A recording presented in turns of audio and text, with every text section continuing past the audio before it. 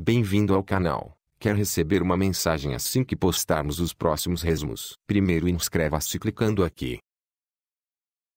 De um like para ajudar a crescer nosso canal. Em seguida ative a mensagem clicando aqui neste sino. Assim que forem postados novos vídeos você será notificado no seu celular. Clique aqui para ir para o site Resumo e Novela Oficial.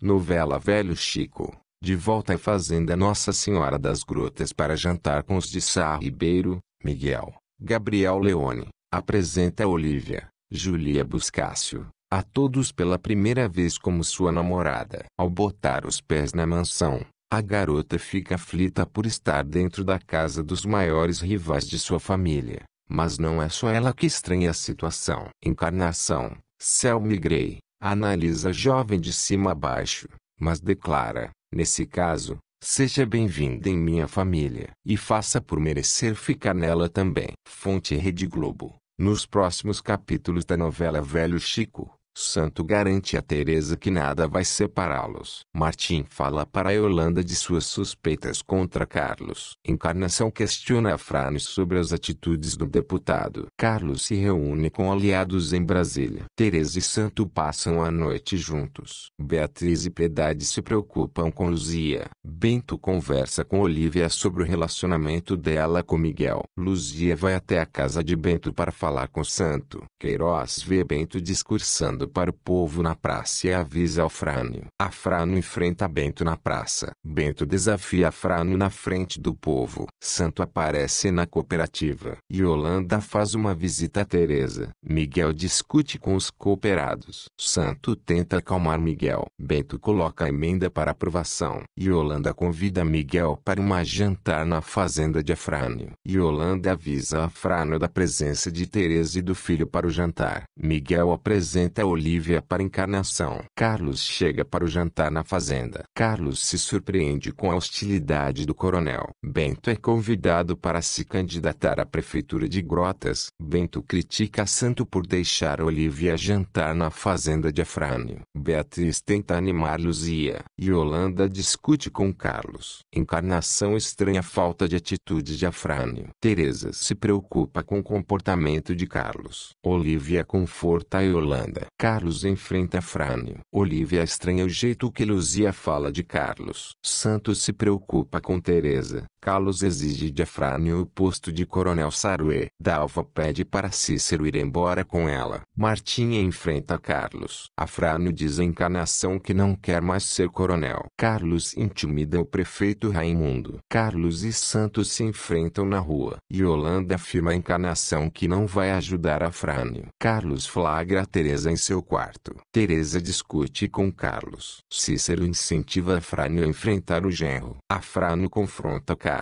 Teresa consegue mais uma venda para a cooperativa. Os pequenos produtores agradecem a Miguel e Olivia pelas entregas do mercado. Lucas leva Isabel, Piedade e Luzia até a Associação das Rendeiras. Afrânio tenta se entender com Yolanda. Encarnação manda Cícero acompanhar os passos de Carlos. Bento enfrenta Carlos durante o discurso dele na Praça de Grutas. Carlos manda prender Bento. Luzia pede para Santo não se afastar das filhas. Padre Benício leva o povo para a igreja e Beatriz discursa contra Carlos. Olivia tenta consolar Luzia. Carlos tenta intimidar Bento. Santo flagra Carlos ameaçando Teresa e se enfurece. Bento e Padre Benício tentam convencer Beatriz a entrar para a política. Encarnação pede para Martim reatar com Afrânio. Carlos afirma a Luzia que não permitirá que Teresa e Santo fiquem juntos. Yolanda conversa com Martim. Teresa decide ter uma conversa com Afrânio. Encarnação não se intimida com Carlos. Yolanda critica o modo como Afrânio trata os filhos. Martim e Afrânio se aproximam. Carlos faz ameaças a Teresa. Encarnação repreende Yolanda por abandonar Afrânio. Beatriz é comunicada sobre a transferida de sua escola. Martim vê o secretário de Educação com Carlos e supõe que Beatriz tenha sofrido uma retaliação. Martim tenta tranquilizar Beatriz. Luzia gosta de ouvir que Santo não está bem com Teresa. Martim convence Beatriz a contar o que houve com ela para Bento. Lucas e Sofia estranham o comportamento de Chico criatura. Santo e Teresa discutem. Martim pergunta a Teresa por que ela está afastada de Santo. Afrânio e Martim voltam a jogar xadrez. Luzia tenta se aproximar de Santo. Beatriz conta para Bento o que aconteceu na escola. Bento tenta consolar Beatriz. Santo pede para Miguel iniciar a transição para produtos orgânicos. Bento insiste para que Beatriz pense na candidatura à prefeitura de Grotas. Afrânio manda Martim deixar a cidade. Encarnação cobra do filho uma posição sobre a situação de Carlos. Yolanda aconselha Teresa a não esconder a verdade de Santo. Miguel e Olivia comemoram a mudança de comportamento de Santo. Doninha e Cícero se preocupam com Teresa. Yolanda sugere que Encarnação procure outros aliados contra Carlos. Afrânio faz um acordo com Carlos para tentar salvar sua família. Encarnação procura Bento com a ajuda de Cícero. Encarnação conversa com Bento. Cícero procura Santo para falar de Teresa. Afrânio exige que Carlos mantenha Martim em segurança. Afrânio e Carlos vão ao bar de Chico Criatura e Martim os enfrenta. Bento esconde de Martim o documento que recebeu de Encarnação. Queiroz conta para Carlos que Encarnação e Bento estiveram juntos. Beatriz não aceita que Bento volte a investigar a prefeitura. Martim se incomoda com o jeito como Beatriz fala com ele. Encarnação garante a Yolanda que não deixará Carlos ficar com o patrimônio de sua família. Martim discute com Bento e Beatriz o defende. Bento conta para Beatriz como conseguiu pistas sobre o esquema da prefeitura. Afrânios sofre com o afastamento de Martim. Martim pede que Beatriz conte a verdade para ele. Ceci tem um pressentimento. Zé Pirangueiro encontra Martim dormindo em uma canoa. Luzia e Piedade sentem falta de Beatriz. Yolanda percebe os olhares de Martim para Beatriz. Martim encontra o dossiê que Encarnação deu a Bento e pede ao vereador que se afaste de suas investigações. Ceci presenteia Martim. Encarnação discute com Yolanda. Yolanda comenta com Dalva que deixará a fazenda. Carlos provoca Bento no bar de Chico Criatura. Teresa é chantageada por Carlos. Bento desiste de sua investigação e Encarnação fica furiosa. Ceci tem um mau pressentimento com Martim.